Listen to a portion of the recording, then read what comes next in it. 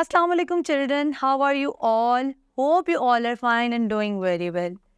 जी तो बच्चों आज की क्लास में हम रिमेनिंग क्लासेस ऑफ़ इन्वर्टिब्रेट्स को डिस्कस करेंगे जैसा कि हमने प्रीवियस क्लास में डिस्कस किया क्लासिफिकेशन ऑफ़ इन्वर्टिब्रेट्स में फ़र्स्ट वन हमने डिस्कस किया स्पंजेस को फिर हमने बात की वर्म्स की तो आज की क्लास में हम remaining three classes of invertebrates जो हैं वो हम उसको डिस्कस करेंगे तो उसमें पहली क्लास है insects the second one is mollusc and the third one is echinoderms तो बात करेंगे इंसेक्ट से, ठीक है? Insects are the animals with jointed legs insects वो वाले जो हैं, वो एनिमल्स हैं जिनके पास जॉइंटेड लेग्स होती हैं। उनकी जो बॉडी होती है, वो सेगमेंटेड होती है। मतलब इनकी बॉडी के हिस्से होते हैं। सेगमेंट मीन हिस्से। They body is divided into three parts इनकी बॉडी को मेनली आम तौर पे तीन हिस्सों में डिवाइड किया जाता है। The first one is head second one is thorax and the third one is abdomen जैसा कि आपको नज़र आ रहा होगा, जो इंसेक्ट्स की लेग्स होती हैं, वो मोस्टली होती हैं सिक्स होती हैं, या फिर थ्री पेयर्स में हो सकती हैं। आप कह सकते हैं कि इंसेक्ट्स के पास थ्री पेयर ऑफ़ लेग्स होते हैं मतलब तीन जोड़े टांगों के होते हैं। या फिर इनके पास सिक्स लेग मतलब छः टांगे होती हैं, ठीक है? अब बात करते हैं इनकी बॉडी की आउटर कवरिंग की, ठीक है? इनकी जो बॉडी होती है, वो आउटर जो कवरिंग जो होती है, जो बाहर वाली कवरिंग होती है, वो हार्ड होती है, जिसको हम एक्जोस्केलेटन भी कहते हैं, ठीक है? Exo mean outer and skeleton mean डांचा their exoskeleton support and protect the body ठीक है? इनका जो एक्जोस्केलेटन होता है जो आउटर कवरिंग होती है, जो बॉडी का बाहर वाला ढांचा होता है, वो इनको एक तो सपोर्ट प्रोवाइड करता है और दूसरा इनको प्रोटेक्ट करता है। इनकी कुछ एग्जांपल्स ये हैं, जैसे कि वास मॉस्किटोज कॉकरोचेस वगैरह, ये सारे के सारे इंसेक्ट्स में आ जाते हैं। इनकी कुछ एग्जांपल्स ऐसी हैं जो अपने इन्वायरमेंट में अपने आप को हाइड कर सकती हैं, जैसे कि लीफ इंसेक्ट लीफ इंसेक्ट जो है, वो ऐसा इंसेक्ट होता है जो लीफ की तरह से दिखता है, पत्ते की तरह से दिखता है, ठीक है?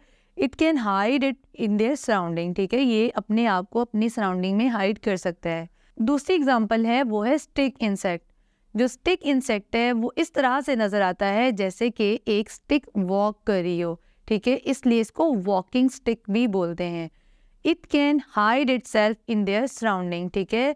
ये भी अपने आप को अपनी सराउंडिंग में हाइड कर सकते हैं। अब बात करेंगे मोलस की, ठीक है? मोलस जो होते हैं वो फोर्थ क्लास ऑफ़ इन्वर्टिब्रेट्स हैं। ये सॉफ्ट बॉडीड होते हैं। They live in the water, river, lakes, ocean and on land, ठीक है? इनमें से जो कुछ एग्ज़ाम्पल हैं, कुछ मोलस जो होते हैं उनकी बॉडी कवर्ड होती है हार्ड शेल से, ठीक है? उनकी बॉडी के ऊपर हार्ड शेल होता है जो उनको प्रोटेक्ट करता है। जैसे कि ऑस्टर की बॉडी के ऊपर होता है स्नेल की बॉडी के ऊपर होता है, ठीक है? जो उनको प्रोटेक्ट करता है और उनको जो है वो सपोर्ट करता है। अब कुछ मोलस्क होते हैं, उनकी बॉडी के ऊपर जो हार्ड शेल होता है वो नहीं होता, जैसे कि ऑक्टोपस कुछ मोलस्क जो होते हैं वो फ्रीली मूव कर सकते हैं और they may be found stick to anything ठीक है? या ये किसी और चीज़ के साथ भी स्टिक होकर सर्वाइव कर सकते हैं। अब बात करेंगे, कुछ मॉलस जो होते हैं, उनकी बॉडी के अंदर जो है वो पर्ल मेकिंग होती है, ठीक है? पर्ल बनते हैं। पर्ल कहते हैं मोती को। इनकी बॉडीज जो होती हैं, वो मोती बनाती हैं, जैसे कि ऑस्टर ऑस्टर की बॉडी में रेत का या जो है वो कोई सॉल्ट का ज़रा दाखिल हो जाता है पानी के ज़रिए और फिर क्या होता है over the period of time उसकी बॉडी की, उस जर्रे के ऊपर लेयरिंग करती है, ठीक है? अपनी सक्रीशंस की, अपने जो उसकी बॉडी से रतूबतें खारिज होती हैं, वो उसके ऊपर आती जाती हैं और लेयर्स बनती जाती हैं।